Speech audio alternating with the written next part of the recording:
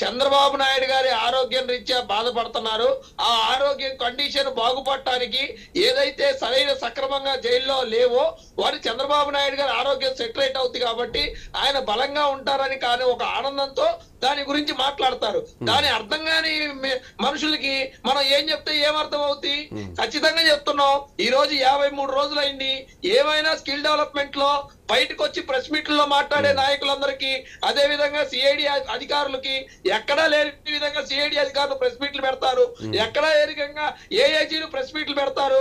ఎవరు అసలు ఎటువంటి లా ఎక్కడ పనిచేస్తుందో తెలియదు వీళ్ళు బయట పెట్టారని చెప్పి మా దగ్గర సాక్ష్యాలు ఉన్నాయని పదే పదే చెప్తున్నారు. మరి కోర్టులో ఎందుకు చూపించలేదు ఆ సాక్ష్యాలు? మేమేమైనా వద్దన్నావా? మేమేమైనా అడ్డుకున్నావా? మీరేం చేయొద్దురా నాయన? మీకు దండం పెడతారు మేమైనా బతిలాడావా? బయట పెట్టండి. యాభై మూడు రోజులైంది. మీరు చేసిన ఎంక్వైరీ ఏంటి? ఈ కేసులో ఉన్న వారు అందరూ కూడా ముప్పై ఏడు మంది కూడా బెయిల్ మీద ఉన్నారు.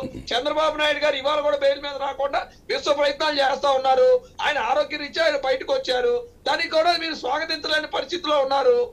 మీ మీ యొక్క క్రోధత్వం ప్రజలకు అర్థమైపోయింది కదా. ఇంకా దాని గురించి ఎందుకు?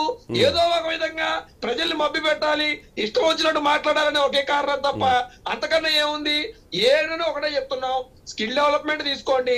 ఎవరు పెట్టారు కేసు? జగన్మోహన్ రెడ్డికి అత్యంత సన్నిహితుడు పక్కనే ఉన్న ఐఏఎస్ అధికారి Ajay Kalam Reddy. ORR IRR ring road inner ring road. ఎవరు పెట్టారు కేసు? ఆళ్ళ రామకృష్ణారెడ్డి జగన్మోహన్ రెడ్డికి అత్యంత సన్నిహితుడు. అలాగే నిన్న కేసు పెట్టారు లిక్కర్ మీద. ఎవరతను రెడ్డి? ఎక్కడి నుంచి వచ్చిన రెడ్డి? అదే పొంగునూరు కేసు. ఏ రెడ్డి? రిషాంత్ రెడ్డి పెట్టింది. అదే విధంగా ఇంకో కేసు తీసుకుంటే మనం మీరు ఏ కేసు తీసుకున్నా ఒక రెడ్డియే కేసు పెడతా ఉన్నాడు ఒక రెడ్డియే ఎంక్వైరీ చేస్తా ఉన్నాడు ఒక రెడ్డియే వాదిస్తా ఉన్నాడు. ఈ విధంగా ఇక్కడ ఇక్కడ రాకేష్ గారు రాకేష్ గారు ఇంకొక ఇంకొక మాట కూడా ఇందాక వేణుగోపాల్ గారు మాట్లాడుతూ చాలా ఉన్నాయి కేసులు ఇన్వెస్టిగేట్ చేయాల్సినవి చాలా ఉన్నాయి. ఇంకా బయటికి రావాల్సినటువంటి సాక్ష్యాధారాలు కూడా చాలా ఉన్నాయి రావాల్సిన నిజాలన్నీ. సో దీంట్లో భాగంగా ఈ మూడు వేలు నాలుగు వేల కోట్ల రూపాయలు కాదు దరిదాపు ఆరు లక్షల కోట్ల రూపాయల స్కాన్ జరిగింది అంటూ కూడా మాట్లాడుతున్నారు వైసీపీ నాయకులు. ఇందాక వేణుగోపాల్ గారు కూడా ఈ మాట అనడం జరిగింది. సో దీనికి సంబంధించి కూడా తెలుగుదేశం పార్టీ రెడీగా ఉండాల్సిన అవసరం ఉంది. ఇండైరెక్ట్ ఒక హింట్ అని కూడా అనుకోవచ్చా? మేము రెండు విషయాలు చెప్తున్నామండి. జగన్మోహన్ రెడ్డి గారు ఆ రెడ్డి అనే వ్యక్తి మొన్న పెట్టిన విజయవాడలో పెట్టిన ఒక మీటింగ్లో ఆయన క్లియర్గా చెప్పాడు. మైకు నెట్టి కొడుతూ నేను లండన్లో లేనప్పుడు చంద్రబాబు నాయుడు గారిని అరెస్ట్ చేశారు ఆ కేసు నేను ఎలా పెట్టించుంటాను? అని చెప్పి ఎటకారపు నవ్వులు నవ్వి చెప్పాడు. అంటే ఆయన ఇక్కడ ఉన్నప్పుడే మిగిలిన కేసులు పెడితే వీటికి నేనే పెట్టించాను అని ఆయన ఒప్పుకున్నట్టే కదా? అది చాలా క్లియర్గా ఆయన ఒప్పుకున్నట్టే కదా? రెండోది నేను ఇందాక చెప్పాను మీరు అడిగారు క్వశ్చన్. ఆరు లక్షల కోట్లు ఉన్నది ఆరు లక్షల కోట్లు అన్నారు. ఇంకొకటి అంటారు పింక్ డైమండ్ అని వాళ్ళే డబ్బా కొట్టారు. ఏమైంది? కోడి కత్తి గుచ్చేశారా బాబోయ్! జగన్ రెడ్డి గారిని చంపేస్తున్నారా బాబోయ్! అన్నారు. ఏమైంది? ట్రయల్ కోర్టు కూడా వెళ్ళట్లా?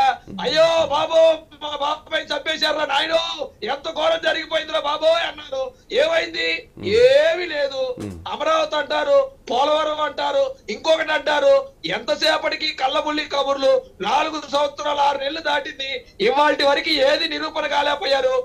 ఇప్పుడు వచ్చి లాస్ట్ ఆరు నెలలు ఎలక్షన్ దగ్గర పడతా ఉంటే ఇప్పుడు వచ్చి ఈ కేసు అంటారు ఆ కేసు అంటారు అరెస్ట్ చేయాలంటారు. ఇంకా చాలా విచిత్రంగా ఇందాక గౌరవనీయులు పెద్దలు గౌరవనీయులు పూజ్యులు వేణుగోపాల్ రెడ్డి గారు చెప్తారు కోర్టు ఏసీబీ కోర్టు ఈ మీద చెప్పలే- ఒప్పుకున్నట్టే కదా అంటారు జగన్మోహన్ రెడ్డి గారి మీద ఏ కేసు కొట్టేయలేదంటే జగన్మోహన్ రెడ్డి గారి మీద ఒప్పుకున్నట్టేనా తప్పులని ఈ రోజుకి నలభై మూడు వేల కోట్లు మన డబ్బులు అక్కడ సీజ్ చేసి కట్టగట్టి లాక్కొని ఆస్తులు పక్కన పెట్టారు కదా. అంటే మనం తప్పు చేసుకున్నట్టు ఈ రోజు వైసీపీ వాళ్ళు నిజంగా నిర్భయంగా ఒప్పుకుంటున్నారా? ఇన్ని సంవత్సరాలు ట్రైల్ కూడా రాకుండా సిబిపి అధికారులు గప్పదొక్కకుండా ఎల్లగొడుతున్నారే. మన పోలీసులు అడ్డం పెట్టి మరి అవన్నీ కూడా మనం ఒప్పుకున్నట్టేగా బహిరంగంగా? మరి దానికి కూడా మనం సమాధానం చెప్పాల్సిన అవసరం ఉందిగా. ఈ రోజు మీరు. చెప్పిన ఇన్నర్ రింగ్ రోడ్ కానివ్వండి లేకపోతే స్కిల్ డెవలప్మెంట్ కానివ్వండి లేకపోతే ఇంకో కార్పొరేషన్ కానివ్వండి ఇంకోటి కానివ్వండి దయచేసి మా చంద్రబాబు నాయుడు గారు నారా చంద్రబాబు నాయుడు లేదా నారా లోకేష్ అనే అకౌంట్ కానీ లేదా కుటుంబ సభ్యులకు కానీ లేదా రాకేష్ గారు యా రాకేష్ గారు మీ వాయిస్ బ్రేక్ వస్తుంది సిగ్నల్ ఇష్యూ ఉన్నట్టుంది దయచేసి. వీళ్ళకి చేరినట్టు మీ దగ్గర సాక్ష్యాలు ఉంటే దయచేసి బయట పెట్టండి సార్ ప్లీజ్. రైట్ రాకేష్ గారు మీ సిగ్నల్ ఇష్యూ వస్తుంది. ఒక చిన్న బ్రేక్ తీసుకుందాం బ్రేక్ తర్వాత డిబేట్ కంటిన్యూ అవుతుంది. కీప్ వాచింగ్ ఐ న్యూస్ నమస్తే వెల్కమ్ టు ఐ న్యూస్ నేను శ్రీకాంత్. రైట్ ఇక ప్రైమ్